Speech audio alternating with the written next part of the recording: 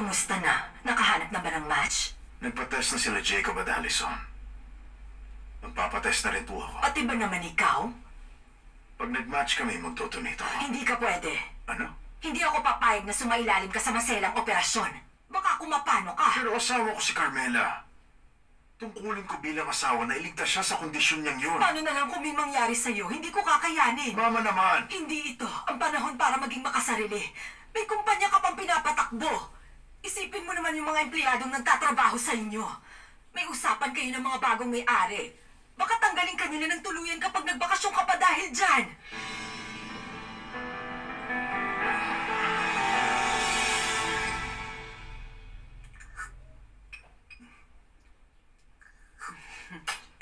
Bakit mo naman pinapunta yan dito para kumain?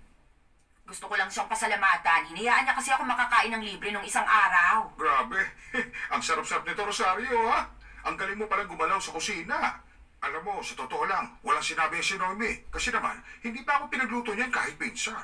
Pero naman, napakagaling niya dumiskarte sa negosyo. Ayos lang naman yun. Pero iba kasi ang hanap ng mga lalaki. Ang gusto namin, maging ilaw talaga sila ng mga tahanan namin. Walang tatalo doon. Ah, ganon.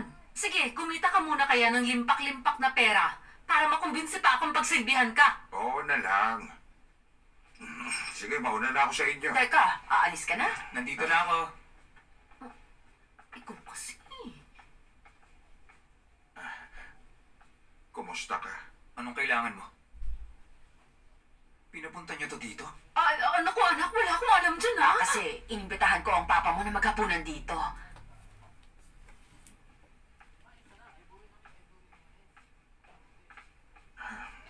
Sige na, alis na ako. I- ingat ka. Ang sama naman ng ugali ng anak mo. Ang bastos niya talaga sa tatay niya. Ano? Walang binatbat niyang anak mo kay Carlo. Di hamak na mas matino ang anak ko sa kanya. Oo, sa panaginip mo. Pambihira. Walang kwentang tao yung ama ni Teo. Wala kang alam sa mga nangyari sa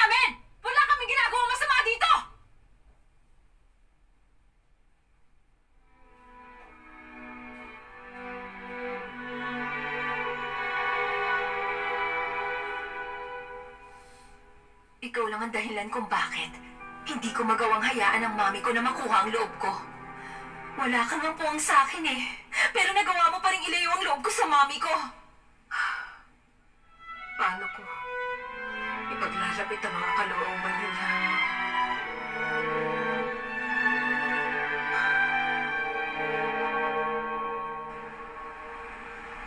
Nandiyan na po ba yung resulta?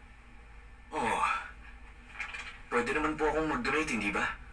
Ah, sa kasamaang palad, hindi niya rin tatanggapin yung dugo niyo. Hindi na kami nag-biopsy. Dok naman, imposible yun. Anak niya ako eh! Paano po ako, Dok? Base sa resulta, magkatugma yung dugo niyo sa mama niya. Ay, salamat.